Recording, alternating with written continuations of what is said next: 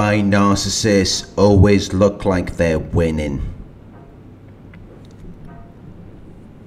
Narcissists often look like they're gaining or resulting in a victory.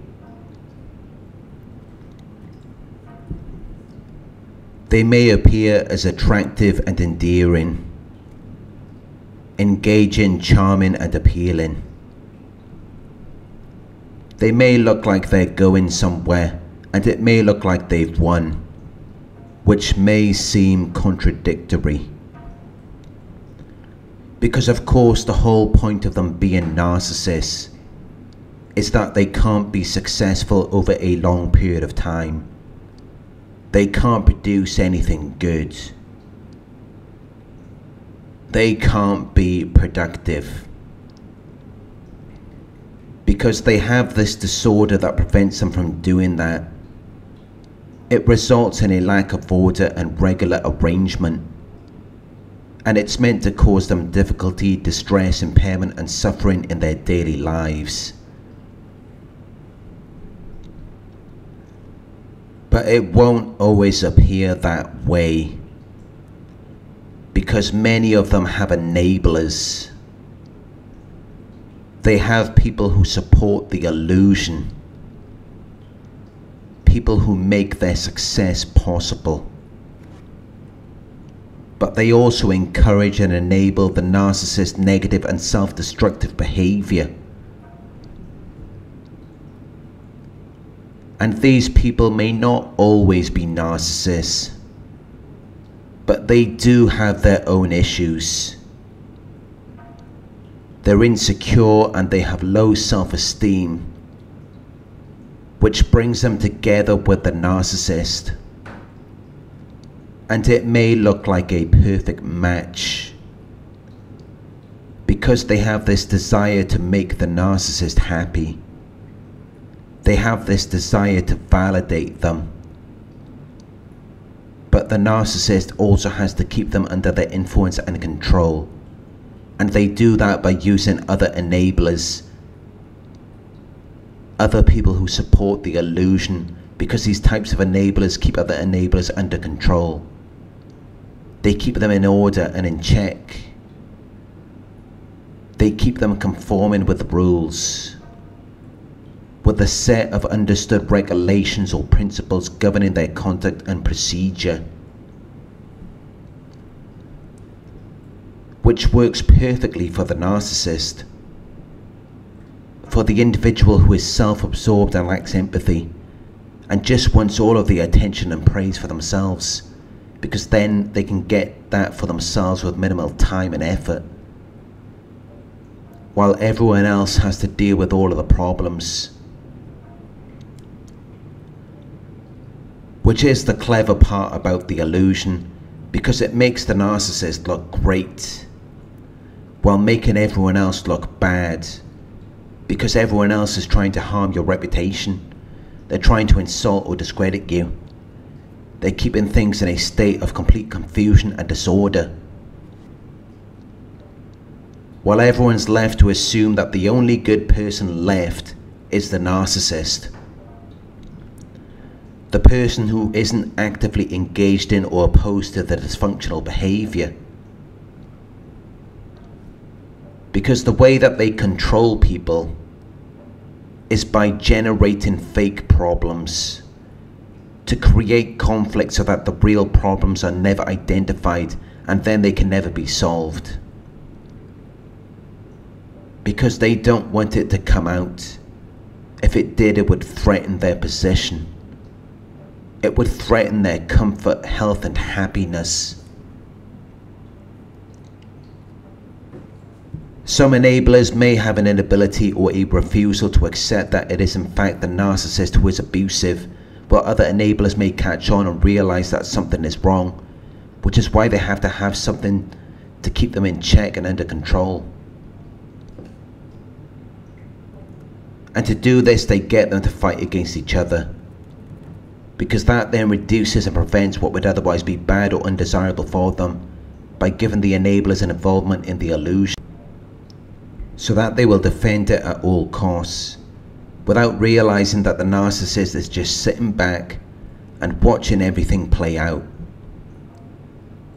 It's a highly skilled form of manipulation because they're defending the illusion without even realizing that it exists. And there are people who create the illusion who aren't even bothered about it, they don't even care. While it's destroying everyone and it's even destroying the narcissist. But narcissists thrive in dysfunction. They're quite comfortable with it. They like their disorder. They like how it works. They like how it gets them the things that they need. But it's very inconvenient for the enablers because it makes it difficult for them to get along with other people. So now they can't get anything done. As long as the illusion is present. Because the illusion requires them to be incompetent. It requires everything to be mismanaged. And at the same time, they can't even acknowledge it. But then they have to defend it at the same time. Because they're terrified that everything will fall apart but really they're just afraid of what the narcissist will do if the illusion is threatened. So they have no choice but to support it. Because the last thing they want is for the illusion to be shown for what it actually is. If that were to happen, they would suddenly lose control and become very angry. Because deep down they already know that it isn't real. They already know that they're defending something that doesn't even exist. But they want to keep it going because it benefits them to do so.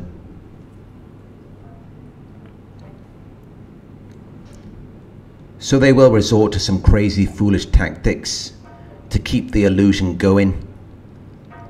But it's only because they're scared.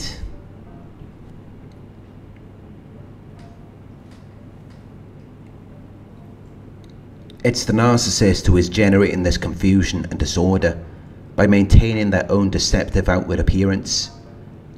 And they're using the enablers to do their bidding while fooling them which turns into a cult, a system of belief, when at the same time they're not even thinking of it like that.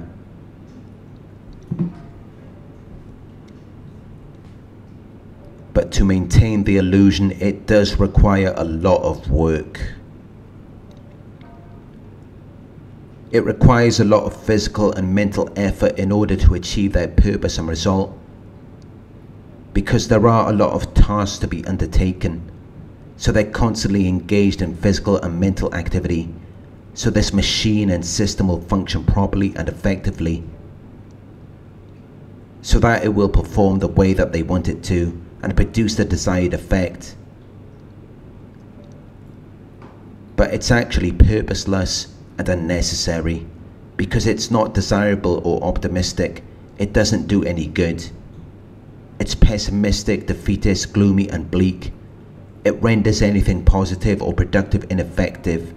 It just makes things worse. It intensifies people's negative aspects. It brings out the worst in people. It amplifies everything that's bad about them instead of promoting their good qualities. Until everything blows up. Because in the end, the illusion falls apart. They end up causing serious harm to themselves, and that is inescapable it's an inevitable result.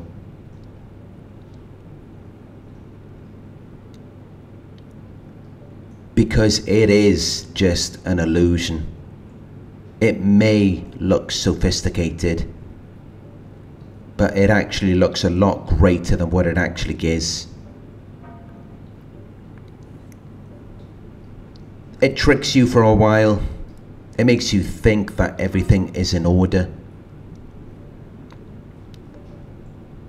But once you start to get good at noticing the details and making judgments about it, at that point the battle is lost for them. Because they can't adapt everything for use in a different purpose than what was originally intended. They can try to avoid directing any of your attention towards it. They can try to fool you by giving you little twists and turns. But at the end of the day, there's only one way it can go. They're still going to be narcissists and they're going to keep acting like narcissists.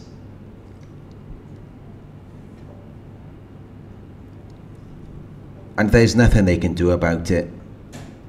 So they've already lost. Even if they haven't realized it.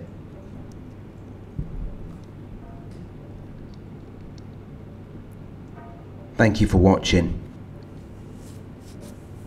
If you found this video helpful, please give it a thumbs up.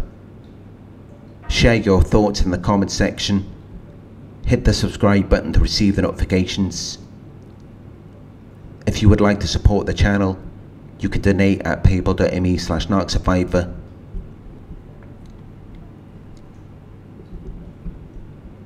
You can book a one-on-one with me on my website. It's narcsurvivor.co.uk. Thank you for watching and I'll talk to you soon.